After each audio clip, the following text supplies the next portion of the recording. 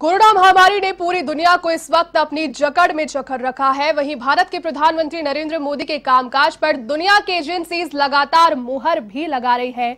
दुनिया की मशहूर सर्वे एजेंसी गैलप ने कोरोना के संकट काल में 28 देशों के सरकारों के कामकाज पर सर्वे कर ये नतीजा निकाला कि कोरोना संक्रमण से निपटने में प्रधानमंत्री नरेंद्र मोदी दुनिया के लीडर नंबर वन है। गैलप के सर्वे में शामिल इकरानवे फ़ीसदी लोगों की राय है कि भारत सरकार कोरोना से निपटने में अच्छा कार्य कर रही है।